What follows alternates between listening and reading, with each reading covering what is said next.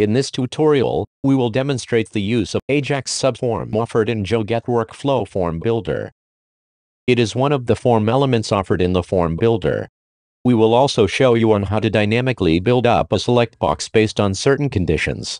We will be using the HR Expenses Claim app that you can find in the Joget Marketplace. This is the App Center of Joget Workflow. Launch the HR Expenses Claim app. Let me show you the use case first. This is the list of rejected claim. We are going to create an appeal process in which we are going to make use of the form elements set earlier. Okay, let's create a new appeal form.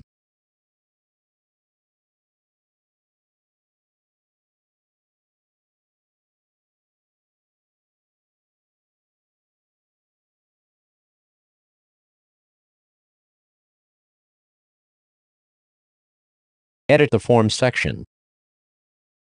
Make it meaningful. Add a select box into it. We are going to list down rejected claims of the logged-in user. We cannot possibly hard-code the options in the select box. It must be dynamically pulled out from the app. Therefore, we can use one of the options binder offered here. Choose the default form options binder. Go to the next tab. Choose the form that stores the claims. Next, we will need to decide on which field from the form to display as option label. This is the claim form. We are going to use the title as the option label. Copy its ID. Go back to the appeal form. Paste it in. Preview. Good. Now, we are going to filter the selections so that only the rejected claims will show up. Status is the field that stores the claim status. Write the statement as shown on the screen. Preview again to see if it works. OK. The list has changed. Get back to the select box. Copy the condition somewhere first. Now, we will need to further filter the list to only show claims of the current logged-in user. Username is the field that stores the claim applicant's username. Let's start with the hard-coded value first, cat. Preview. OK, good.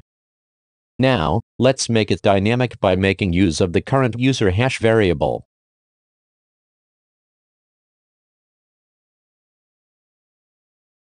Preview. OK. It works.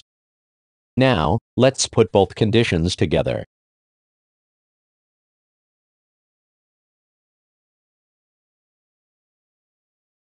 Next, add a Ajax subform. Ajax subform will load data based on the selection. Get the ID of the select box. Copy it to the clipboard. Choose the appropriate form. Go to the next tab.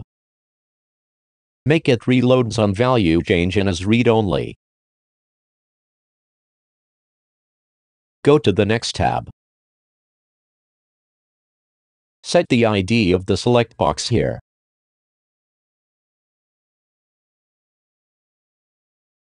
Since this is an appeal form, let's add a text area for the applicant to key in the reason.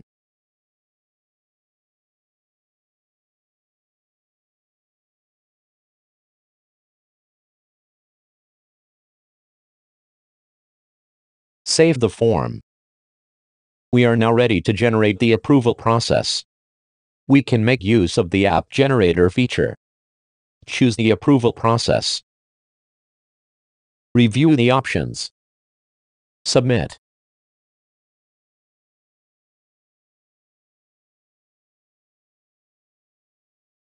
We can see that a list of forms have been generated for the appeal process. Launch the user view. There's a new category at the bottom now. The category label is too long for this user view theme.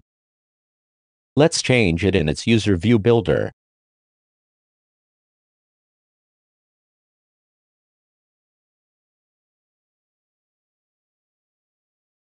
Things look much better now. Alright, let's go to the new process with the new appeal form. The user cat can now choose rejected claims of his to start the appeal process. We can also see the Ajax subform in action now. We hope that you can now make better use of these form elements now. Thank you for watching.